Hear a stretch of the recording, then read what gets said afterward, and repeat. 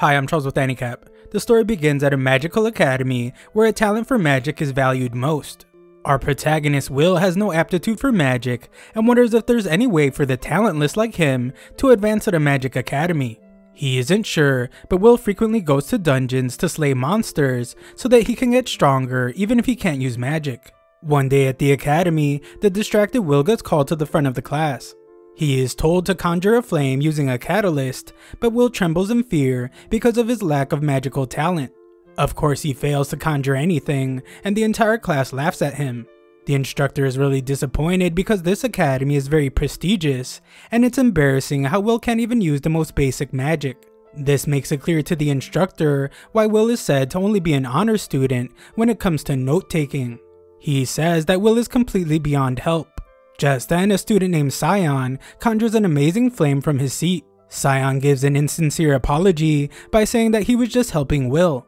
The instructor puts out the flame and declares that this was an example of how in this world, the supremacy of magic is absolute. Magic is strength, and mages are their heroes. At the academy, a student's talent for magic is how they earn a higher rank. However, a no talent student that can't even use a bit of magic has no right to be at an academy that gives rise to powerful sages. After class, Sion mocks Will for going into the dungeon again because he's just going there to take out Small Fry and scrape up some credits. Some girl named Colette intervenes, but Sion can't understand why an honor student like her would defend such a nobody.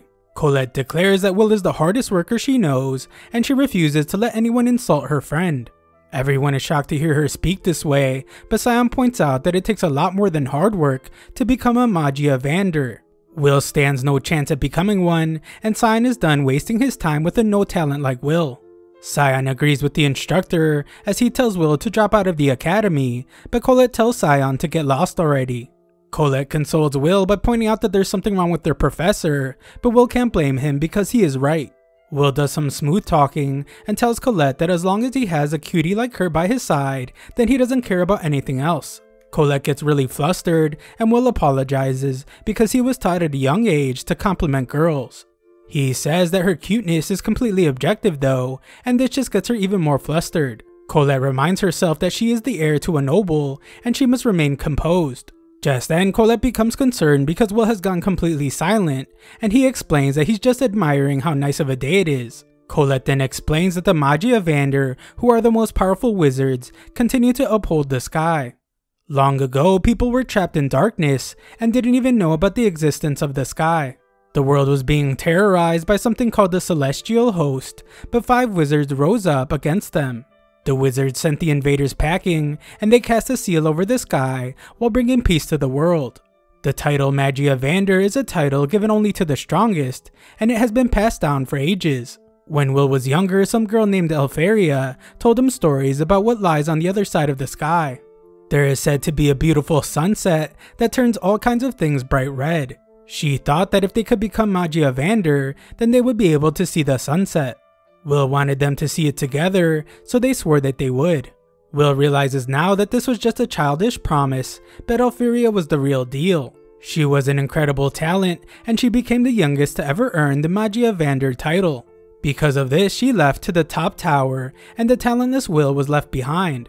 Will is unable to give up on the promise they made, so he works hard so he can stand beside her one day. Afterwards, Will is scolded by Professor Werkner for going to the dungeon again. The worst part is that Will went to the 7th floor, and Werkner fears that Will will lose his life one day. Will apologizes and sheepishly asks about his credits, which just gets Werkner more upset. Will did eliminate an evil guard in the dungeon though, so Werkner awards him with 2 credits. Will couldn't be any happier, and Werkner is shocked that he hasn't given up on becoming a Magia Vander. Will wonders what is so wrong about that, so Werkner explains the difficulties that lie ahead for him. Before heading to the tower, Will will have to advance to the Upper Institute. To do that, he will need to be proficient in the three curricula. The curricula are writing, spellwork, and praxis. He will need a ton of credits in all three of them, but Will can't use magic, and he will never be able to earn spellwork credits. Will knows this very well, which is why he focuses on collecting praxis credits in the dungeon. Unfortunately, Werkner must remind Will again that advancing through praxis alone is impossible. Will gets pretty dejected, so Werkner lifts his spirits by telling him to forget about becoming a Magia Vander. Instead, he needs to worry about actually graduating from the academy. Will failed to earn credits in the most recent exam, which means he needs to earn 4 credits by the end of the week. There are only 2 days left, so Will desperately searches his notes to find a monster worth 4 credits. Werkner wants to help him, but he doesn't want to get in trouble, so he says that he's simply talking to himself, and he reveals some report about a certain monster on the 6th floor of the dungeon. It's called a Baskerville, and it's exactly what Will needs, so Will thanks the helpful professor. Unfortunately, Sion heard everything. He comes up with an evil plan, and he is sure that it will finally get rid of the no talent scrub who is out of his league in this academy. A while later, we find Will on the 6th floor of the dungeon. Will has fought a Baskerville before, so he's eager to earn his 4 credits. He tells his worried cat friend not to worry because he will avoid the monster's flame breath so they don't get burned to a crisp like last time. Nearby, Sion and his cronies search for the monster. They want to take care of it before Will does, so that he will be expelled for being short on credits. Sion's buddies are worried about being on the 6th floor, but Sion reminds them that he is one of the elites at the school. Sion has some serious issues, as the very sight of seeing Will offends him. He doesn't even believe that a no-talent loser should even be able to speak about the Magia Vanders, and he thinks Will doesn't deserve to be at the academy.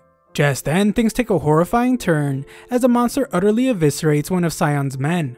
This thing is terrifying as the kid's blood drips off its fists, and Sion's friend screams in horror. Will hears the scream and rushes forward as he fears that someone is being attacked. Will demonstrates incredible speed and arrives to see Sion in battle. He is shocked to see that the monster is an evil sentinel because he has never seen one in person before. This beast is incredibly dangerous and it's worth 10 credits. This terrifying monster usually resides in the lower levels of the dungeon, so Will wonders why it's there.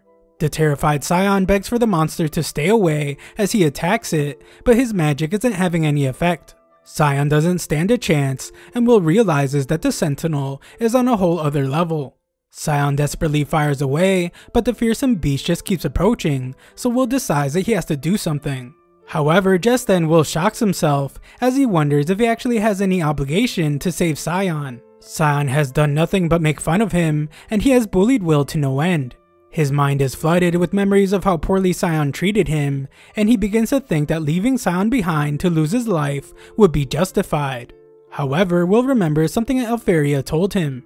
She said that he was kinder and braver than anyone she has ever met, and we see that she was the one that gave Will his glasses. Back to the present, Will says that Elfaria was wrong. He isn't kind or brave, he just wants to do whatever it takes to stand beside her. Will puts on his battle glasses and dashes forward. He stops the monster's immense attack and declares that he will become a lone sword. Back at the school, Professor Edward urgently tells Werkner that Sion and his buddies went to the dungeon without permission. Werkner is in disbelief, and Edward tells him to use his familiar to find Sion. The kids are in serious danger, so Werkner prepares to do so and asks what floor they are on.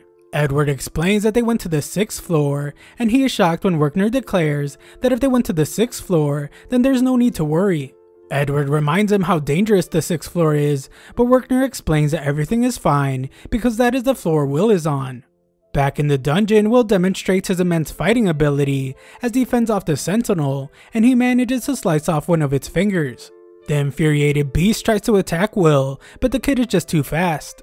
Will soars around the cave and easily deflects the debris that the monster throws at him. Eventually, Will makes it onto the monster's back, and Sion watches in shock as he can't believe that this is the same Will from school. The professors watch the fight from a crystal ball, and Edward can't believe what he is seeing from Will. Werkner then reveals that Will is a true outlier. He has superhuman strength that a mage would never possess, and a body as tough as a dwarf's. That isn't all though, as he also has incredible observation skills that allow him to grasp an enemy's strategies after seeing them just once. Will demonstrates this by dodging an attack the monster just used, and he uses this opening to slice its arm off. Werkner concedes that Will cannot use magic, but in this world filled with magic users, Will is the one and only warrior. Will now takes the monster's giant sword, and as the beast becomes infuriated, Will gets ready for an attack.